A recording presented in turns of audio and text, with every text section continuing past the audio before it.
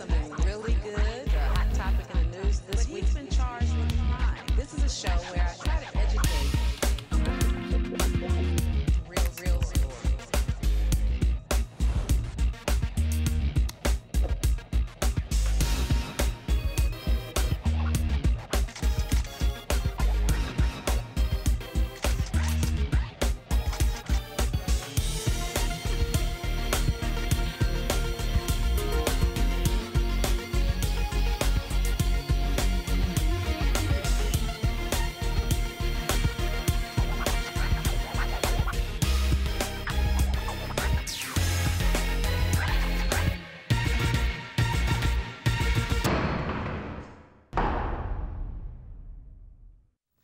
Thank you for watching Truth and Justice for Vivian King. Tonight I have three guests in the studio who are my current, my reoccurring guests, but we're going to talk about current events tonight.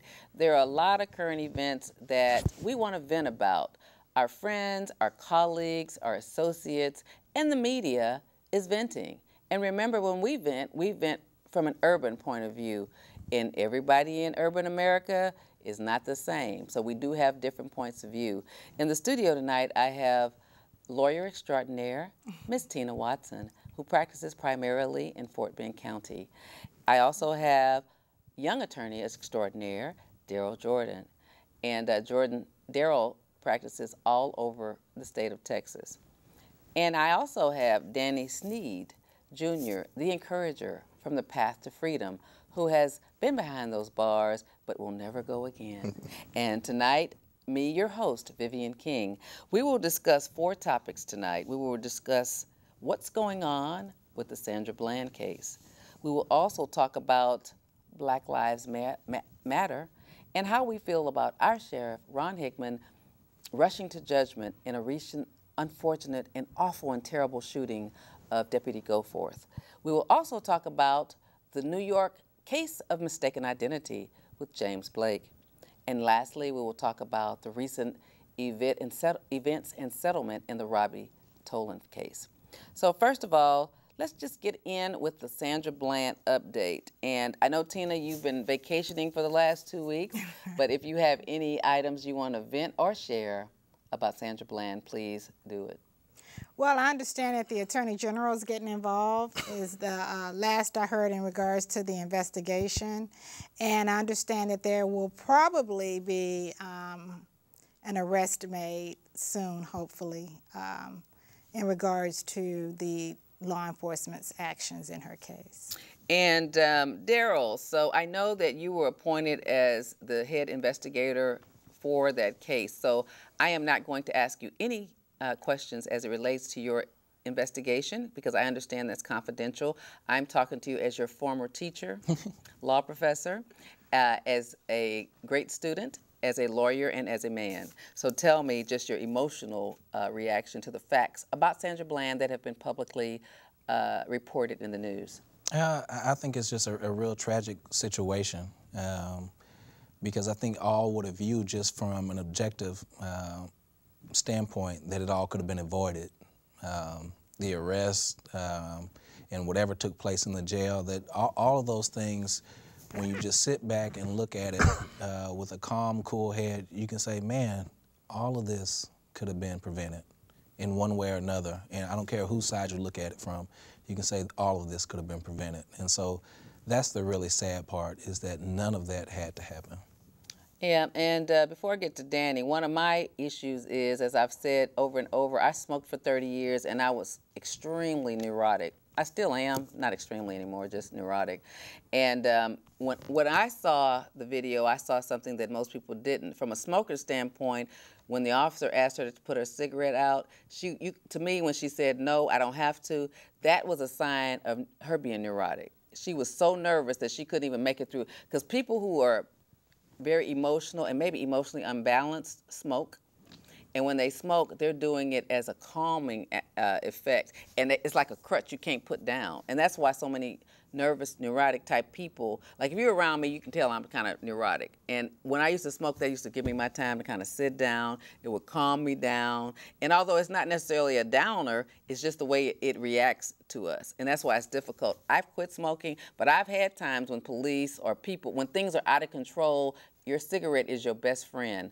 And that's why people can't quit. Like for me to quit after 30 years, I had to bury my best friend. I had to say, like, since I buried my mother young, I've had a lot of important people die when I was young, you understand finality and it being over. And it really, because if my man was acting bad, my child, my friends were forsaking me, I had no friends in the world. I always had my cigarette. You could that's why people can't leave it alone. That's why you'll see people on the street bums bumming cigarettes because nobody can stop you from doing it. And it's just like it becomes your best friend. And it don't talk back to you. It loves you. It's kind of like people do with puppies or animals. You know, it's like your mm-hmm. last and best friend. And that's why people are so, like a lot of people wonder why people so, they like dogs more than they like people or other races of people. It's because that's their best friend. And, um, and that's not any, you know, it's not rational. She wasn't rational smoking, but he should have been trained to recognize the signs. And I, I believe that um, that was a real telltale sign of her neuro- neurosis. Mm-hmm. And I don't think she should have been mistreated like that. Uh, Danny brought to us that DPS code and creed is what, Danny?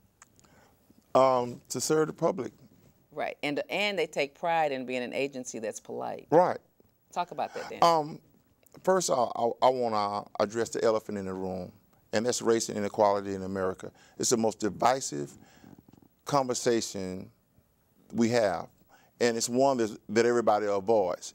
Uh, it, it, just makes people uncomfortable, especially um, how do you describe them? Our Caucasian friends. Our Caucasian friends. And um, but what's going on today is initially ruled a suicide. Brain death is not being handled just as it would be in a murder investigation.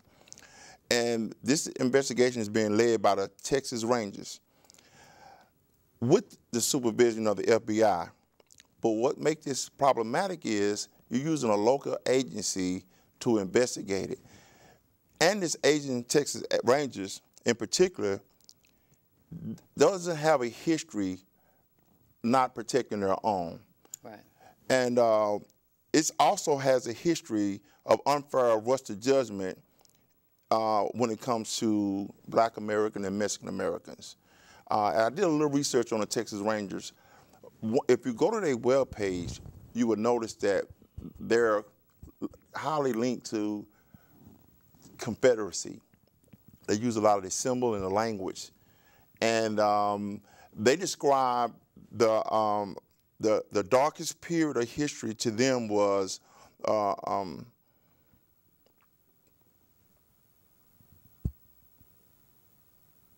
I lost my thought. Okay. But here's the point. The Texas Rangers is not the right people to be investigating this. And DPS, as well as they have stayed out of the limelight, also has a, a, a storied history. Now, Sandra Bland family has filed a wrongful death suit, but the Department of Justice should conduct their own individual uh, investigation. Uh, about a month ago, I was in Washington, D.C., in front of the Justice uh, Department, and uh, a, a, a, local grassroots organization had over 500,000 signatures uh, uh, that, that the media was there that they were asking the Department of Justice to investigate this case. So we'll just have to, it's like a wait and see type thing. Uh, this case is not going anywhere. Uh, we want to look at how that there's been a visual there. Recently, they named a, a portion of the street that she was uh, arrested on. They named it after her in her honor. It was some pushback from that, but I believe they did the right thing by saying that what happened to her was wrong. And I digress with that. Yeah, my issue with her is just the mental health issue. I believe it was a suicide, um, but I believe that that the way she was handled, when you're depressed and sad and you're looking for hope and you're looking for a job, then you don't want to be mishandled by a person in authority. That can like knock you over the head. I remember being in law school broke down, depressed, and a cop was real, real mean to me. And I just broke down and cried. And I'm generally a strong person, a traffic ticket, but it was just, I couldn't take it anymore. It's just like, why are you being so mean? Why are you talking so ugly to me?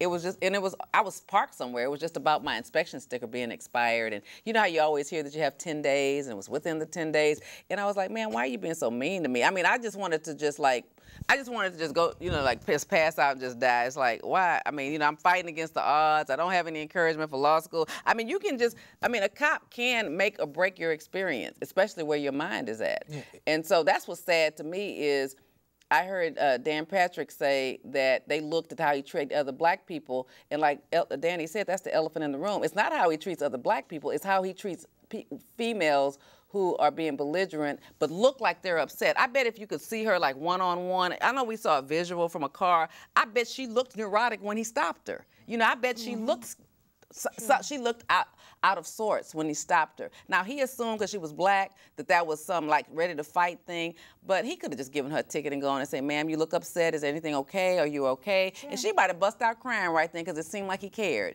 You know what I'm saying? You don't take force. No officer should be putting their hands on a woman. Mm-hmm. I mean, that's period. That's what that's what I'm upset about. Putting your hands on her. I want to know. I want to see how that same cop dealt with ten belligerent white women that they stopped. Did they grab them and throw them out the car? That's my issue. Is I'm having problems with cops putting their hands on women.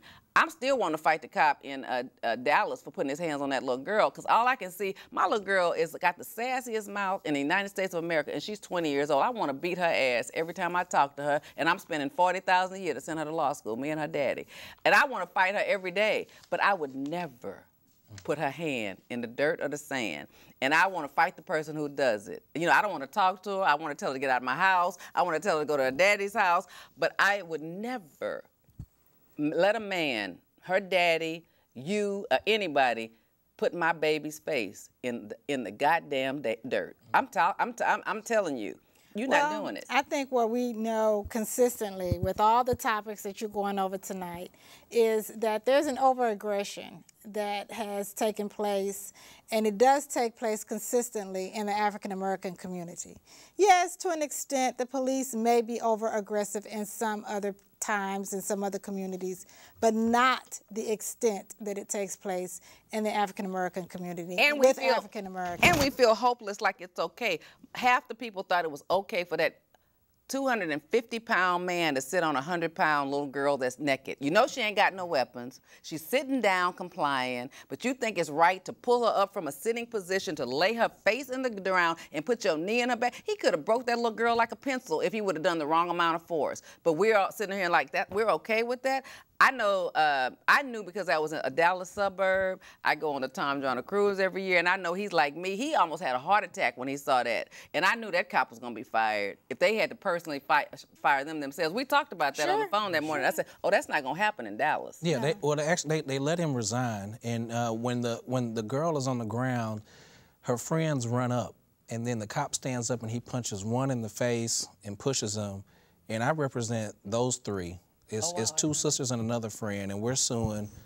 Uh, well, we're waiting on the Texas Rangers report to come back, whenever that's going to come back, and then from there, uh, hopefully they will find him to have done wrong, and then we'll be able to go forward with our lawsuit with, you know, with their report. But, you know, I, I think when we have this conversation, we also have to include the importance of voting because what they see is that we're a powerless people. And so they come in our neighborhoods and do things that they wouldn't do other places because they know that we're going to get up and go protest for a week or two and then disappear back into the shadows. And, and then when it's time to vote for the sheriff, that we're going to stay home. And, and, and one so, of the things we have to do, though, as leaders, and what I say is that um, we, you, Darrell Jordan, mm-hmm. uh, Teana Watson, Vivian King, if we're going to call ourselves leaders, we need to put – information on websites so people understand the process. I try to do it weekly, but and a lot of people have learned, but what I've le- learned is that we are dying from lack of knowledge mm-hmm. in our community. Sure. Our community does not understand to this day all of the people we represent, I mean not, I'm an exaggerator, so take that with a grain of salt. 80, 90% of the people we represent to this day, and I've been representing families. When you've been doing this as long as me sure. and Teana, you re- it's generational they still think the judge makes the decision. Mm-hmm. When the DA is making the decision all day long, that's lack of knowledge. Right. And, and and we need to put the information down. When I ran for judge, my website, you could click on all the judges. I even added a point like which judge was married to what judge and which mm-hmm. judge's husband was a DA. That's a little bit over the top, but we pay their salaries as public officials. Shouldn't we know the nepotism? Shouldn't the people know? Yeah. Uh, and uh, and so I'm just telling. I've told the NAACP that's what you need. You need a website on how judges, uh, how every elected official affects the local government, how the local government runs. Not anything really hard, sure. but just a page. I talked to a new executive board member the other night, and I said. We should be able to go to the NAACP or the Urban League or somebody's website and say, why is it important to vote for mayor? Who does the mayor appoint? Why is it important when she appoints a police chief? What does it mean when the president is running? Who makes the laws? People think everybody in America, half the people, the same 80% that are mad at um, the judges, don't know the judges don't make those those decisions, are mad at Barack Obama like he writes the laws. Mm-hmm. I understand our people fail for lack of knowledge. We don't know who writes the laws. Congress writes the laws. Who's your congressman? They don't know.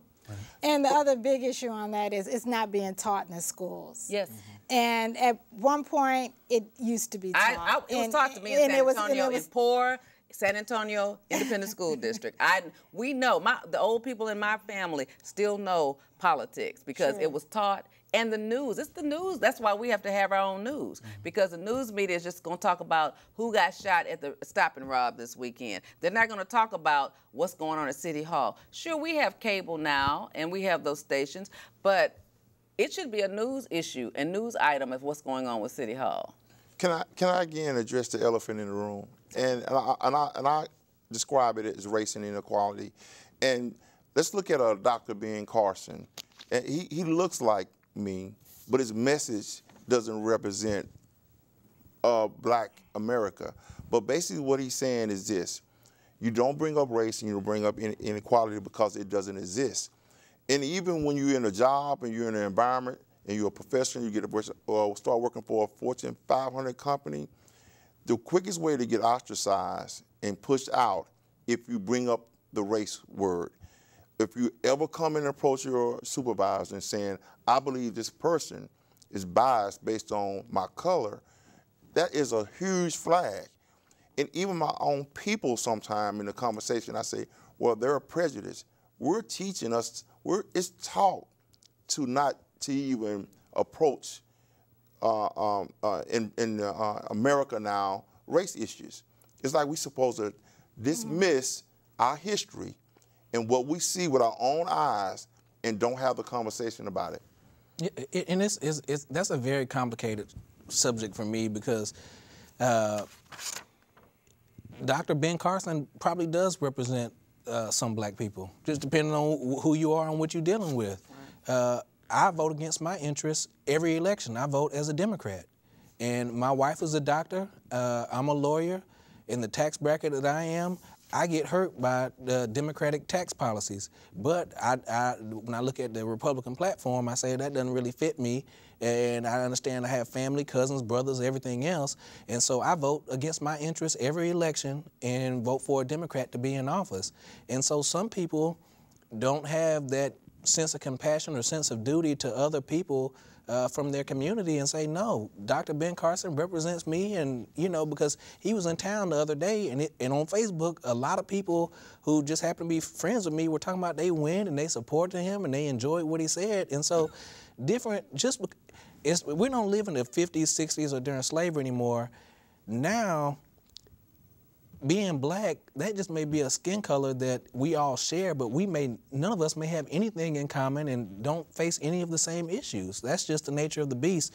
We don't have a common enemy. That's true. But let's, we... let's talk about some more of our issues rather than that because that's kind of that's so esoteric mm-hmm. that it's not. It's uh, I want to change that. So let's talk about the Black Lives Matter, Teana. Sure. Well, uh, I think that is the common theme when we talk about, again, the uh, over-aggression in the cases uh, that we are mentioning for tonight. Everything from Sandra Bland. Uh, we will talk about James Blake, the tennis player who was taken down for uh, being an alleged credit card abuse. Right. But let's talk about suspect. the Black Lives Matter part. Um, and the fact that the movement was designed to bring attention to the fact that African Americans, specifically males, but all African Americans, lives are not being treated with the same respect that others are, especially in the criminal justice system. Um, we know that the matter, the um, movement was attacked somewhat after Deputy Goforth's uh, horrendous murder, and the fact that the movement was blamed as a motive, possibly, for that murder. And it turns out that one, that particular suspect they have in custody suffers from severe mental illness. And not only that, uh, that particular suspect has not given anyone any indication of why he did what he did. They've gone through his Facebook, they've gone through the computer uh, software, they've gone through everything. It just appears this is a very disturbed man. But yet, the movement was attacked uh, during this period as a reason for his possible uh, motive. And I think that that is parallel to what happened during the civil rights movement when um, Dr. Martin Luther King was attacked as well, saying that if it was not for what he was doing, the little girls in Birmingham would not have been uh, bombed and things would not have occurred. And so what we see is some history repeating in that when there are movements, um, people try to silence them. Yeah, it, it, it, hurt Teana and I, I know a lot when we heard that uh, Deputy Goforth was murdered, uh, you know, just inexcusably. But it hurt even more when our, uh, our appointed official that we pay the, the taxpayer dollars for assumes that it's Black Lives Matter because it's obviously something that is personally bothering him. It's like Danny said, it's the racist ele elephant in the room. So let me attack. I bet that sheriff is personally offended by the Black Lives Matter movement. So when he sees a crime, he goes for what he's offended by, but that's not what we pay police for. We pay police to investigate. So that was a personal opinion because and it's almost like if Black Lives Matter, all lives matter. And, and, and Sheriff and, and, and our white brethren, this is what we want you to understand. White, Black Lives Matter is the response from young Americans to white privilege. Because I had teenagers on a few weeks ago, and they talked about, and these are 17 and 18 year olds, their white friends being stopped that they go to Pearland School with, and for, with weed, drugs in their car, they were told to go on. One of my Hispanic friends, who's 17, his daddy's a lawyer, he sponsors the show. Uh, uh, Rudolfo Cantu is his daddy. Uh, the, the uh, young man said he was he was stopped just for a traffic ticket at 17. He had an Asian female in the passenger side. The officer went in her purse, which is in the back, found a doobie, and charged him. But charged him, undercharged him, but wrongfully charged him. Obviously, Mauricio does not have a doobie. He does not have no drugs. He don't carry a purse, okay?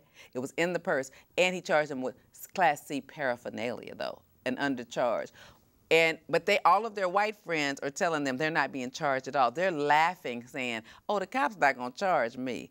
And what the 60 plus year old sheriff of Harris County doesn't understand, this is what the Black Lives Matter is about because the children and the young adults are responding to white privilege. They're letting you, 60 plus year old white person, know that our lives matter just like your children's lives matter. We don't want your children's lives to stop mattering. We don't want your children to not get the place that they think they should have. We just want to be treated equally. It's all about equality. We want you, if you're going to throw the little white 17 year old's joint away and let them go, we want you to throw the little black child's uh, a Hispanic child's doobie away or they're joint away not to ruin their lives. Their friends are getting away with a privilege that your officers are letting them get away with. I had teenagers on here talking about that the other night, and that's the response to Black Lives Matter. We know your life matters. We know white lives matter, okay? We don't have no problem with that. Your life, white America matters to us.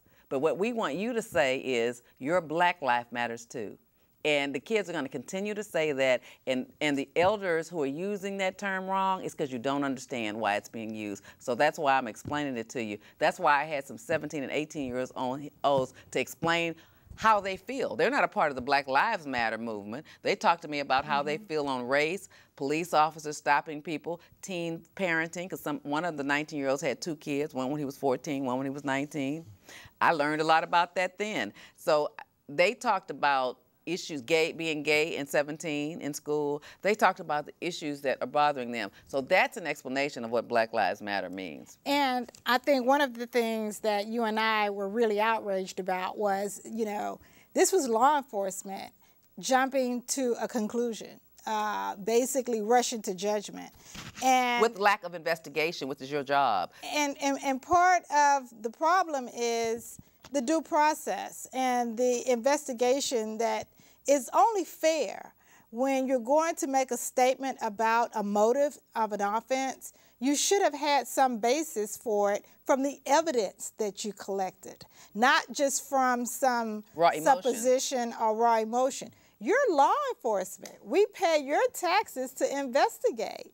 And if you're going to conclude, I've always said and given my closing arguments, a conclusion is a point where you stop thinking.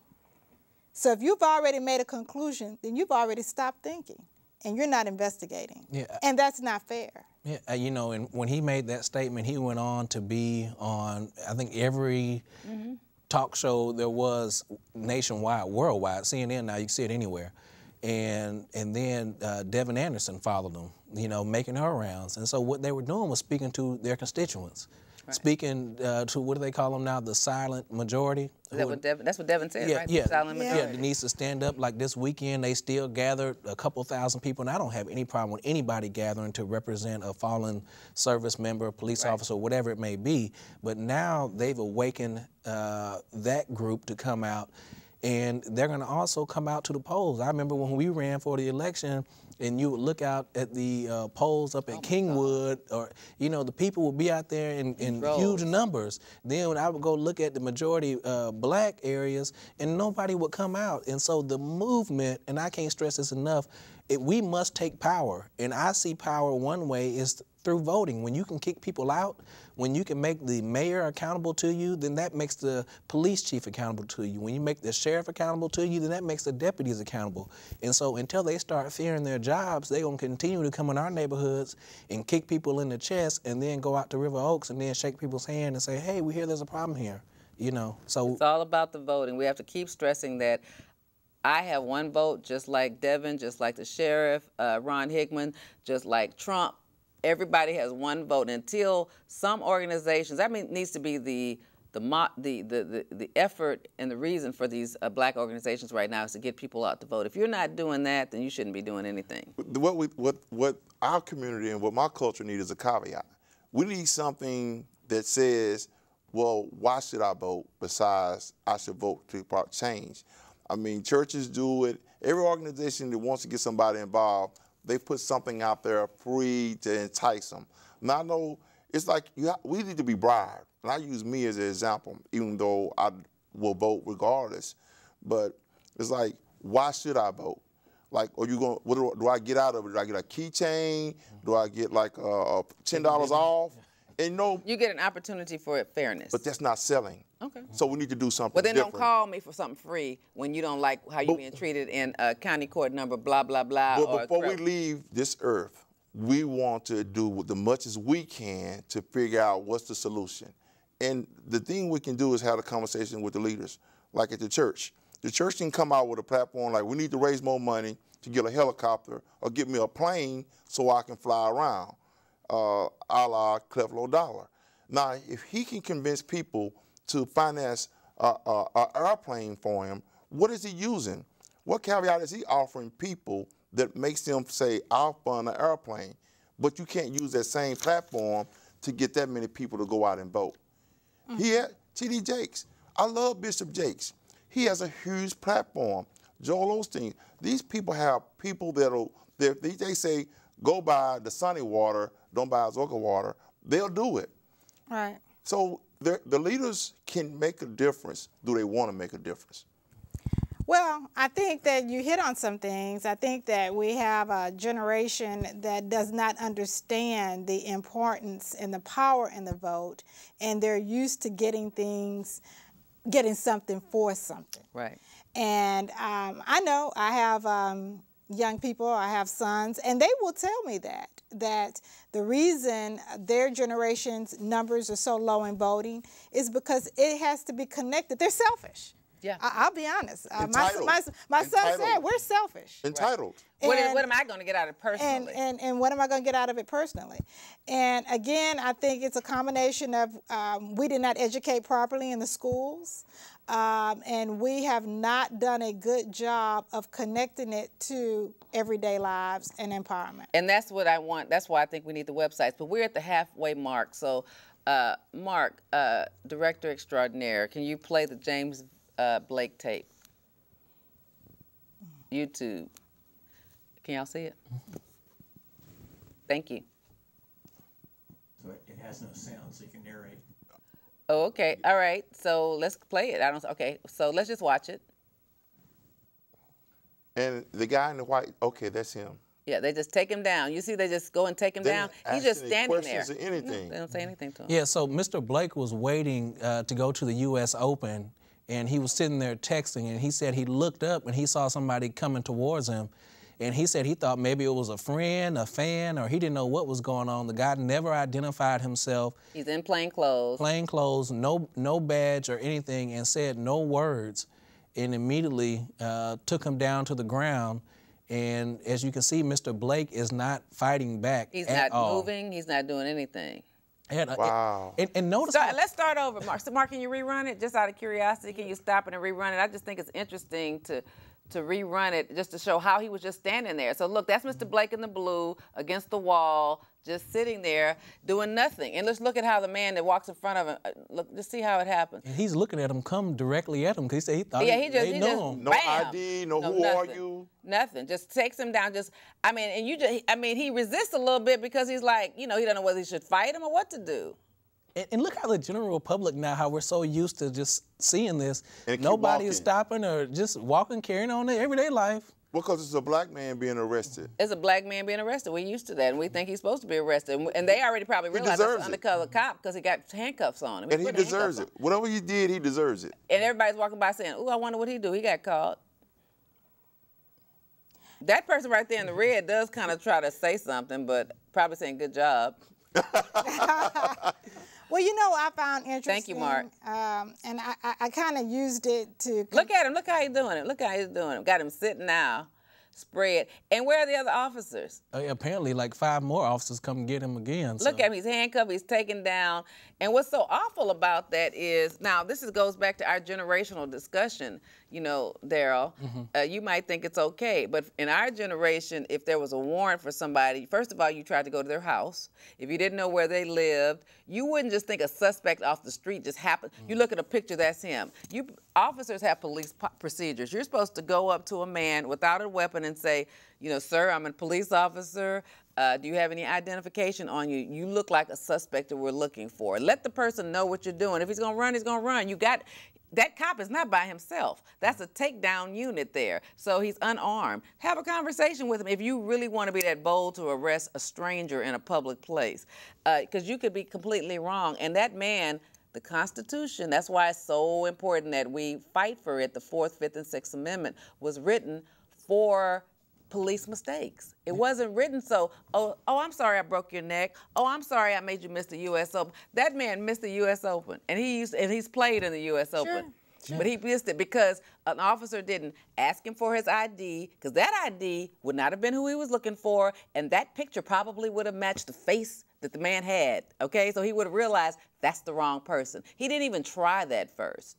He went into over aggression, and officers have manuals, and I bet that's not the way he's supposed to handle and him. It's really sad that just the generational gap in what you grew up with and what I grew up with. Because people weren't handled like Yeah, that. you when I grew up, people were not handled like that. People talked to people first. They tried first. They might have had a whole surveillance team. They might have had them SWAT, but they tried to discuss and negotiate and Sure. properly investigate first. They did not overly aggre- uh, be overly aggressive to where you, as a lawyer and a, a young man, think it's okay. But like I said, you have small children. Let one of them be uh, mistreated, then you'll understand how we feel. You won't. You'll also you'll be holding on tight to the Fourth, Fifth, and Sixth Amendment of the Constitution when you're ready to go in their ass. Yeah, and, and, and I, I recognize that is wrong, but just as a criminal attorney and getting these calls and hearing my clients getting beaten, how they get treated, And the I just see it. That's and just you've never how read cops- the operations Yeah, manual. See, that's you how don't cops even act, yeah. realize they, there's a manual to tell them how to behave. Mm-hmm. And so, uh, and it's unfortunate that senior lawyers like us,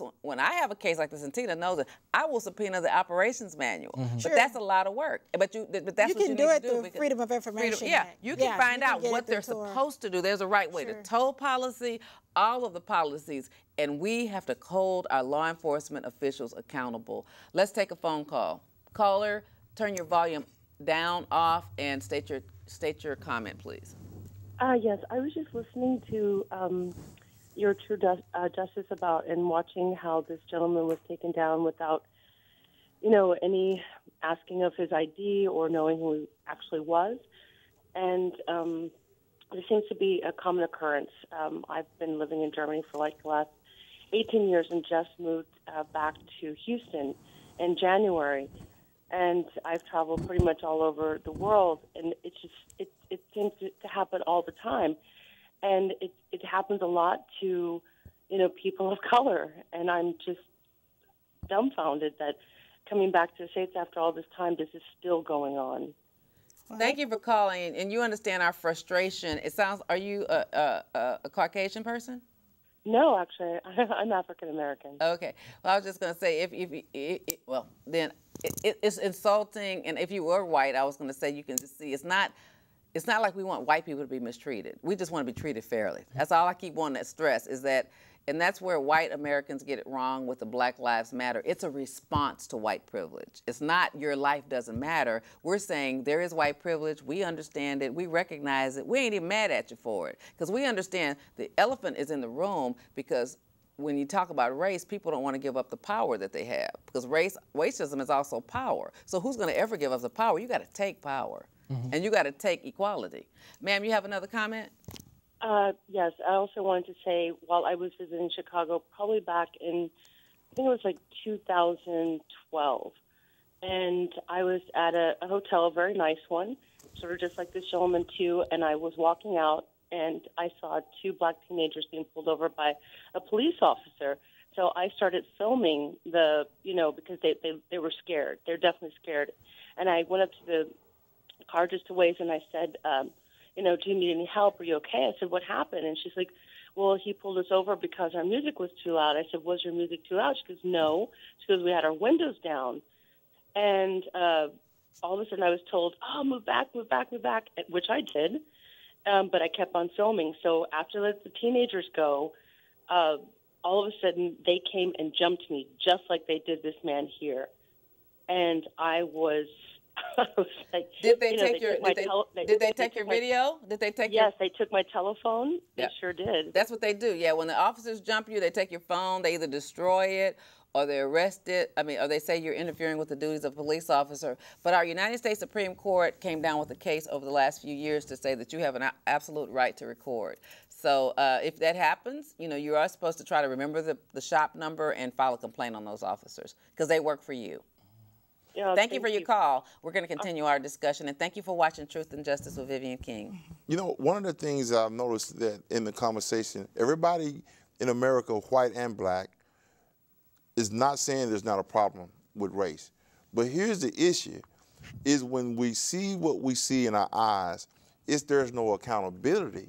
Sure, they'll bring them in like this officer Encinia. He's already Department of Public Safety. He's been put on administrative leave. They did uh, uh, immediately admit that he didn't follow policies. But here's the thing he's not going to lose his job. They're not going to fire him. You mean the one with Sandra Bland? right. What they're going to do I thought is, the news media said that there could be an indictment. well, that's the AG's office. It hadn't happened yet. Okay. It wasn't immediate like the, the other guy. They got immediately fired. But what it is is, we see these things happening, but these officers are not losing their jobs. And if they do lose their jobs, like you stated earlier, if I'm allowed to resign, that means I can go work somewhere else. Sure. Well, that happens, and unfortunately, that's part of the culture, so to speak. Teana, can you hold that thought? We have one more call. Uh, caller, you're on. Please state. Sorry. Okay. Teana, please state your comment.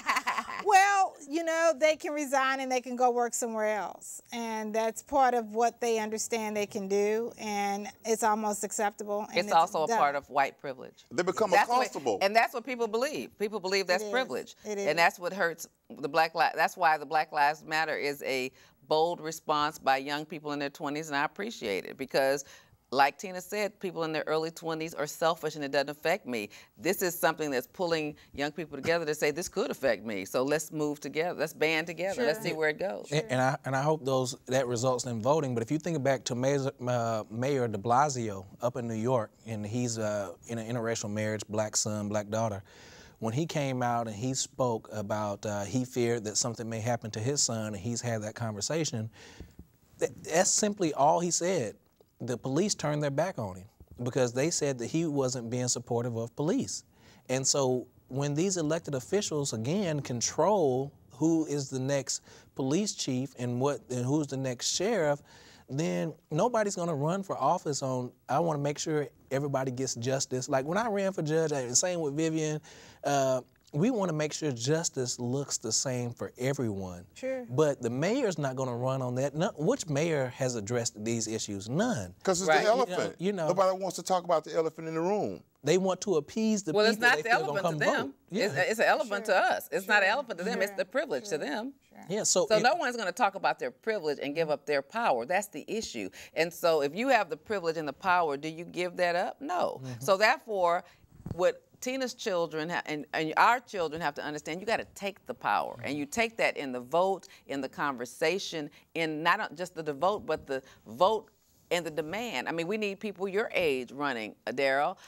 Keep running keep running. You got to run for something. I don't care if it's if it is city council. I don't care if it is the mayor. It might not be judge but we have to keep running i'm ready for the people in their 30s to just take over the texas house and make marijuana legal. It's time to get rid of these old people. Y'all have enough people to vote. They just don't vote. Right. if you can make them vote y'all can get an issue make a weed issue. So you're gonna let casino gambling be uh, the law if you're in austin. Get it done I, it's time for y'all to take over. Get these old ha- old hags out. They already have uh, uh, probably got um, what do you call it retirement already. They've done enough Eight terms years, for that. yeah, yeah they've done enough terms. So uh, I, I hate to be so radical but i'm saying it radically to kind of make you laugh a little but to also make you think because you got to take over.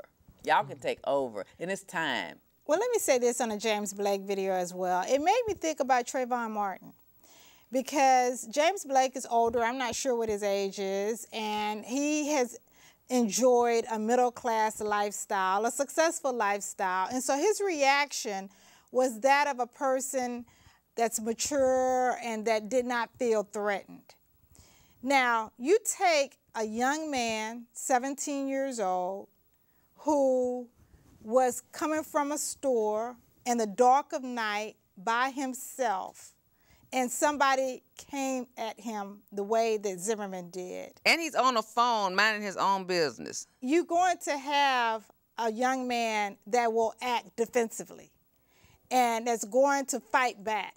And that was one of the problems I had in the Trayvon Martin case, and that is that Zimmerman was able to use the self-defense when actually he- Trayvon Martin was the one defending himself. Trayvon Martin was the victim that was defending himself from a guy in plain clothes who was not even a police officer who was stalking him, who, who was, was bigger, him older. and, and taking him down. So my point is this. You saw in James Blake, and that was good. I'm glad he was subdued and, and so on, but you have to put age with that. You have to put lifestyle, uh, middle class, education, It all was those daytime. things. It was open daylight. They're not gonna beat him up too in bad. a hotel, Right. In a hotel lobby, and so on. So those are some of the parallels that I saw and I compared, and I just it made me think about that poor child in that situation and how in different the it dark, was. on the phone, chilling with his girlfriend, ain't thinking about that he got to fight himself from a grown man who's decided that he's a criminal. I mean, he, his mind is just not there. Let me give you two ideas that could get young people to vote. One, let's take someone with a huge platform like a Jay Z or Beyonce. They're the only ones gonna be able to do it. The rappers. Say if if Beyonce say I'm gonna do a concert at the Toyota Center for every person that's between the age of 18 and 25 that registered to vote, you'll come to get to see this concert for Five dollars. five dollars. I'm gonna come to Houston, give a benefit back to boat concert, and then I'm gonna give Michael Jordan to for everybody that does that. I'm gonna let you get my tennis shoes. Mm. I'm gonna put out a special edition tennis shoe just to get people to vote in the next election, and you can get them for only for hundred dollars.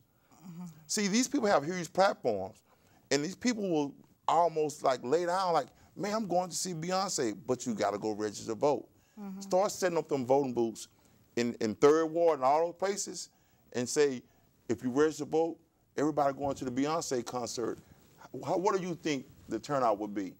I can even I, I even think this. I think it'd be great, but I can even think this. If Beyonce did like Oprah and just came and talked, I think they would go just to hear her talk. I don't think I don't I- I don't even think she'd have to put on her True. five million dollar production for to make somebody come out. I think if she just said I'm coming out to talk and they paid five dollars and had to register to vote to go to the Toyota Center just, to hear her talk. just to hear her talk about her life and why it's important. I'm just saying, but that has to happen. And I, I think Jay Z and, and Beyonce, we do wear out our leaders. They did a lot in getting Barack Obama elected. They didn't do it in Texas because they uh, Barack Obama blew off Texas, but they did it in Florida and they did it in some of those uh, eastern seaboard states where they were giving concerts. I heard they were going door to door. I heard they were doing everything. They spent millions. That's why she was singing at those inaugurals. So they right. they did do their part.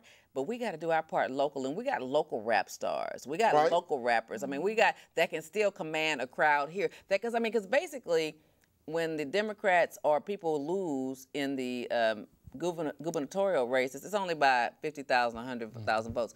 You got 500,000 uh, young adults that's not voting that you could get out there to vote. It's not that many. It's just to get the platform to get them out there. During the during the uh, presidential races, people are only losing by five and ten and fifteen thousand votes. So that's just.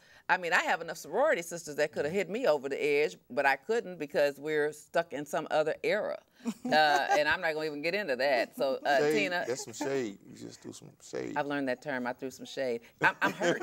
I'm hurt because you know we have organizations that we've given money to and time and respect for 30 and 40 years that that have that that when somebody on a national level like uh, uh, Loretta Lynch gets there, everybody's supporting them. But locally, we probably got 100,000 deltas here that could have pushed both Teana and I over the over the edge. That's that's hurt. And if whether it's shade or not, it's just the truth. okay.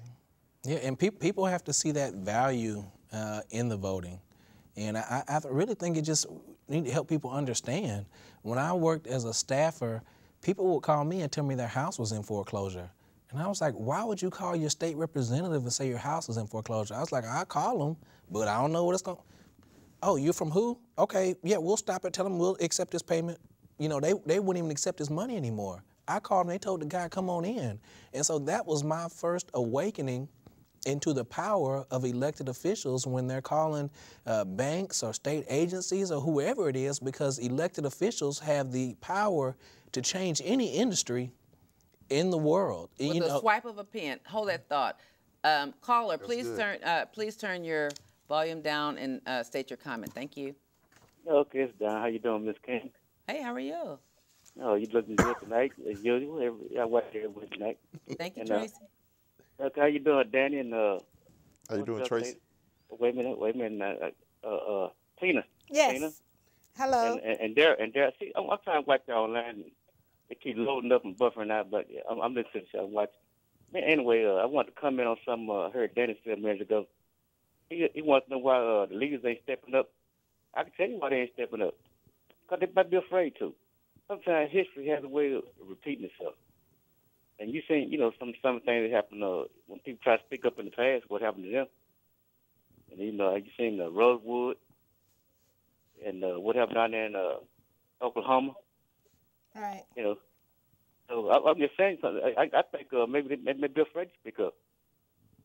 You know, You know, that's that might be true, but that's sad because that is what they're elected for. Uh, unfortunately, if you have a minority district you're supporting, you can't just go along to get along. You you got to continue to fight. Yeah, and that's Well, one. sometimes. Oh, I'm sorry. Go, go ahead, Derek. Go ahead, no, no, no, go ahead, go ahead, Tracy. Okay.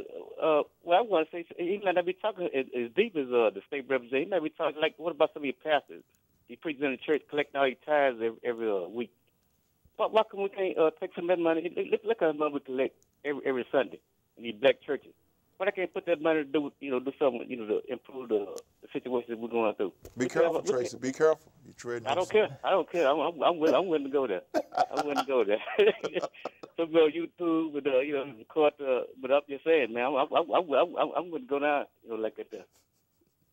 I agree. I agree. The churches. I mean, but for the church, we wouldn't have the Civil Rights Act of 1964. I mean, but for pol- I mean, all of the civil rights leaders who weren't afraid to speak up were churches. But you know, President Bush was smart. He got rid of all that by mixing uh, church and state and letting these churches all become 501c. So their business is not in our churches, Tracy. Yeah. They businesses. I- I and so, understand. uh, you know, once they we mix ch- uh, church and state, and they start getting big grants and government grants, the churches to uh, build communities and houses, Right and in Houston. and uh, right here in Houston, and they stop speaking up because oh, we can't mix policy. You know, We'll they lose our money. Yeah, they Our started- No, no, no, no. and no, they never would lose their money if they talked about a member of their church. But I'm just saying that was a that was not what the tax code says. That's what not what the IRS 5013C tax code says. But Teana and I looked that up when we ran Sure. for judge. I said, Teana, I'm an accountant. That's not what it says. It's just being misinterpreted so that the churches can not bite the hand that's now feeding them because they're all businesses instead of churches. So you know, some smart Republicans took care of that, and our churches ran, our churches decided a lot of them decided not to be churches anymore because you know you when black people had a problem, that's where we went to the church. But if you have racial problems, it's not far you can go these days. So Yeah, there's. You, you know, you know, you know this story telling you. Be careful, little eye, what you see. Be careful, little mouth, what you say. You know, they, they start singing. It's time to start singing. I'm like Malcolm. It's time to start. It's time to start singing. Start swinging. I hear you, baby. Thank you for calling, Tracy. All right. All right. Good night. Y'all have a good night. You too. too. What'd you say, Darrell? You know, it's it's sad. I used to wonder why Quanell X had so much power, but now that I've been here since 1999, I realize he- there's nowhere else to go. There, none of these. He's big, not scared. He's the only one that's not scared. None of these big time elected officials. They're not saying And I. I know because I take your words because they are old and they off doing their world. They handling their own business. Personal. They don't have time to be worried about what's and going on care. with the people. No, they have time because Yeah, they you retired. know. Their kids are grown, so Yeah. Mm-hmm. those old people do have time. It's just it's, that a lot of people have the titles for the title's sake.